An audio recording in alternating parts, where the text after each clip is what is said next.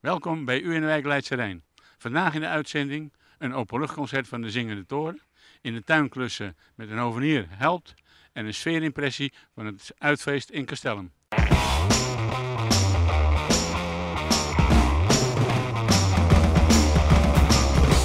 In Vleuterweide torent hij overal bovenuit, de Zingende Toren. Een jaar of tien geleden is hij in gebruik genomen met een geweldig concert. Sindsdien heb ik hem niet meer zo vaak gehoord. En gelukkig krijgen we vanmiddag nog een kans.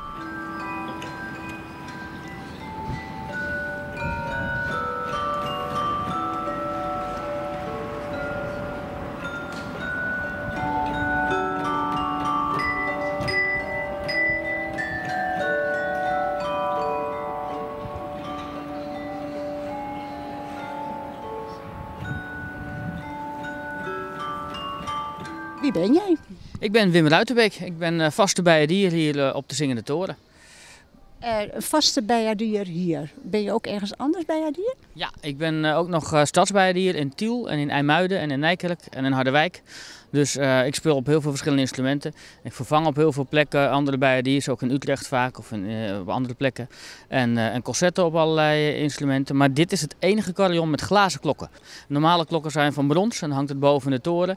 En deze klokken zijn van glas gemaakt. En wat hier ook heel erg leuk is, is dat het klavier beneden staat. En met mooi weer zoals vandaag, dan zet ik het buiten. En dan kunnen de mensen er gewoon omheen komen, kunnen ze vragen en dan kunnen ze me ook aan het werk zien. Want normaal zit je boven en dan is er niemand die je ziet. Dus dat is ook heel erg leuk. Kun je nog iets over eh, de klokken vertellen? Want ik zie, ik zie allemaal glazen ballen, maar ook die kleine klokjes. En wat is nou precies het carillon? Ja, de, de glazen ballen, dat blauwe en dat grijze, dat is eigenlijk eh, kunst. Dat is allemaal ontworpen door Bernard Heesen, de glasblazer uit Leerdam. Die heeft deze hele toren ontworpen. En daartussen hangen de rode klokjes, en dat zijn er 100. En er zijn 50 van, die zijn heel mooi gestemd. En dat is het carillon. En er zijn ook nog 50, die zijn meer de, de, scha- de klankschalen. Dus die maken ook nog geluid. Maar alles wat rood is, maakt geluid. Oké. Dus het blauwe maakt helemaal geen geluid? Als het hagelt wel. Oké.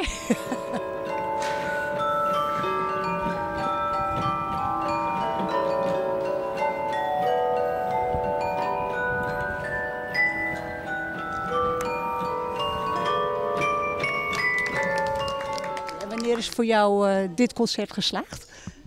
Nou, als de mensen eigenlijk weer eh, met, met een lach op het gezicht weggaan en eh, iets, iets gezien of gehoord hebben wat ze eigenlijk nog niet eerder gezien hebben of waar ze misschien ook nog over napraten. Dat vind ik mooi.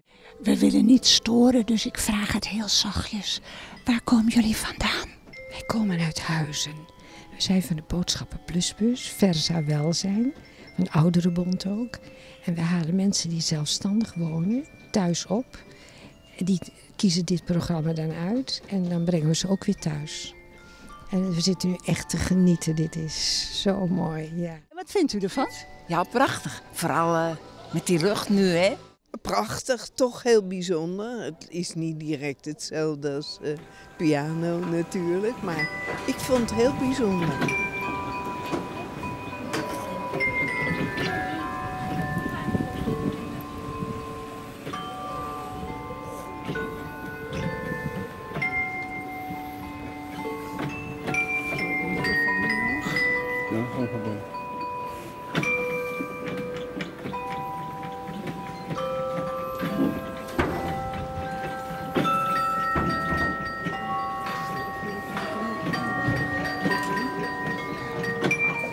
Waarom doe je dit?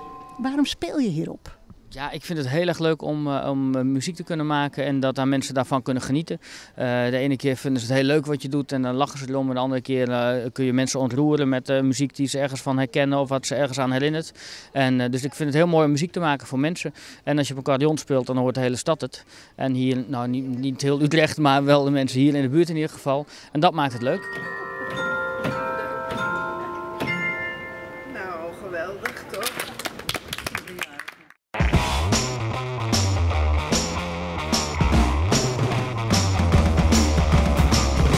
Tja, u zult zich wel afvragen wat doet u in de wijk Leidse Rijn op de Kanaalstraat bij de Hospice Utrecht. Dat komt omdat Marco Franke, bewoner uit Leidse Rijn, gevraagd heeft om wat aandacht te geven aan Hovenier Helpt.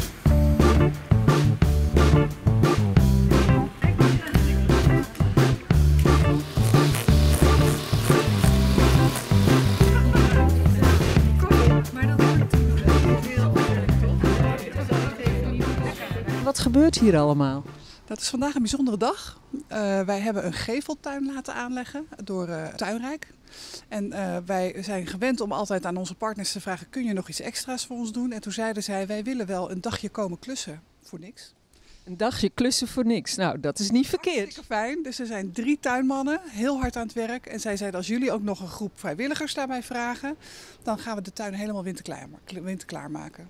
En het is een hele mooie tuin. Um, hoe belangrijk is het voor de mensen dat zij ja, een mooie tuin hebben? Ja, dat is wel heel belangrijk.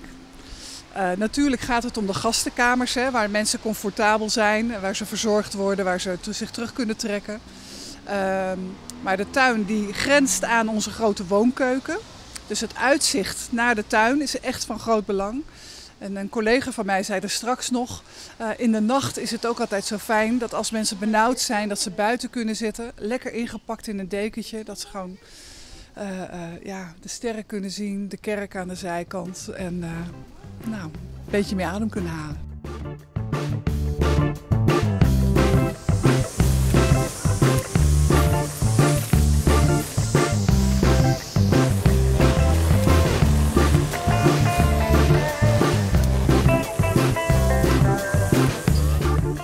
Doen dit uh, vrijwillig allemaal. Uh, hoe gaat dat in zijn werk? Nou, er is, uh, vanuit de tuinkeur is er een, een actie Hovenier Helpt. Dat is één keer per jaar deze dag. Dus in dit, op deze dag zijn er heel veel hoveniers over door het hele land heen allemaal projecten aan het helpen. En wij doen dit jaar doen we dan de hospice. Ja, want als jullie het niet doen, wie moeten het dan doen? Nou, er zijn wel enkele vrijwilligers, maar door zo'n initiatief bundelen we alle krachten samen. He, dus op een gegeven moment hebben natuurlijk, wij zorgen voor een stukje gereedschap, voor een stukje kennis. En uh, er zijn natuurlijk zoveel mensen hier zo die nou even lekker de hand uit de mouwen steken.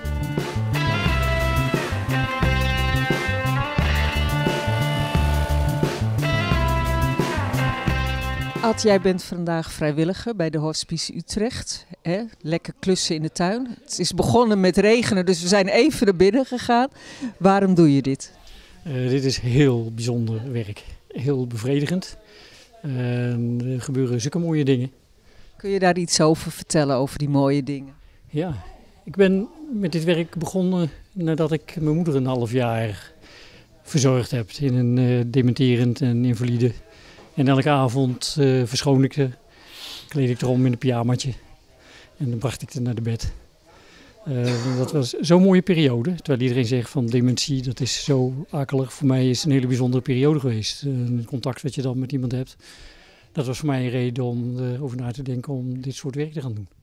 Ja, want nu ben je in de tuin bezig, maar verzorg je hier ook mensen? Ja, ja we, zegt, uh, wij, we zijn, in die zin zijn we een heel bijzonder hospice. Hier doen de vrijwilligers echt alles. We draaien 24 uur per dag draaien we de diensten, dus ook s'nachts met de twee vrijwilligers. En op het ene moment ben je het toilet aan het schoonmaken, het volgende moment de keukenvloer aan het dweilen. En het volgende moment zit je een heel bijzonder gesprek te voeren met een van de gasten. Of je bent hem aan het verschonen. Of kortom, gewoon eigenlijk alles wat er gebeurt. Behalve de medische handelingen. Daar hebben we verpleegkundigen voor.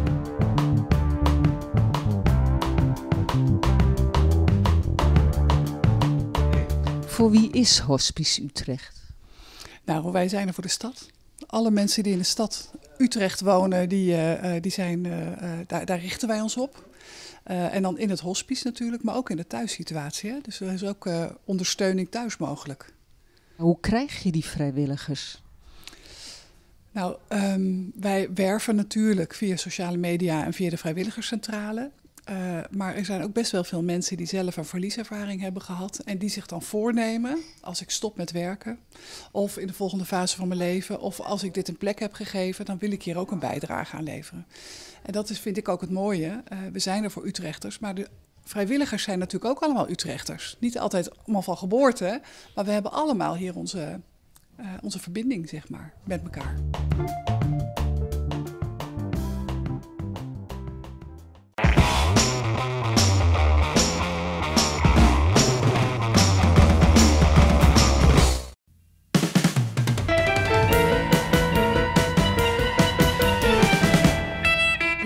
Het uh, uitfeest hier. Wat gebeurt hier allemaal? Nou ja, en dan zou je de camera moeten laten draaien. dan zie je dat er hier overal om ons heen van alles en nog wat gebeurt. Er zijn hier kinderen bezig, eh, die zijn dingen voor de Sint Maartenparade aan het maken. Je kan daar lekker patat eten, ook heel, heel slecht natuurlijk. Het is een tipi-tent met dingen. Jan Rot staat nu met zijn band te spelen op het buitenpodium. Straks gaat er een circusgezelschap spelen in de hoek op het andere veld. En daar zijn ook nog circusactiviteiten. Nou ja, er is van alles. En binnen is ook van alles.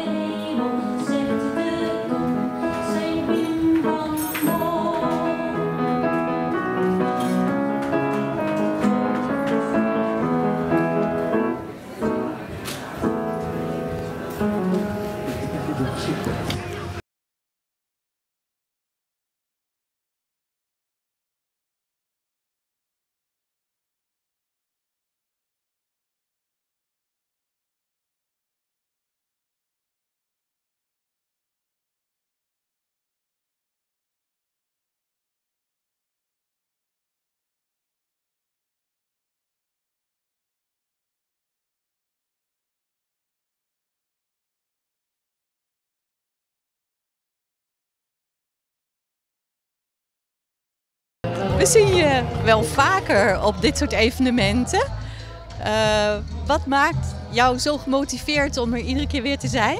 Ja, ik ben nu zes jaar bezig met gewenst eigen initiatief. En dit jaar voor 20 jaar Leidse Rijn. Uh, ook, ook mooi met allerlei uh, promotiemateriaal extra erbij. 20 jaar Leidse Rijn opgeruimd is fijn. Samen met Marjolein vanuit de Vleutende Meren al het hele jaar. En het is gewoon zo leuk om nieuwe mensen te ontmoeten, nieuwe buren te ontmoeten. En ook mensen die er al heel lang wonen en die zich in willen zetten. Of gewoon een praatje maken, dat doen we hier vandaag ook. Want dit is echt meer de praatjes maken. Een beetje opruimen. Ik heb hier een zakje afval. Dat is om te laten zien wat je in een uurtje kan verzamelen. En uh, ja, die leuke gesprekken en die ontmoetingen, daar ja, krijg je een hele hoop energie van.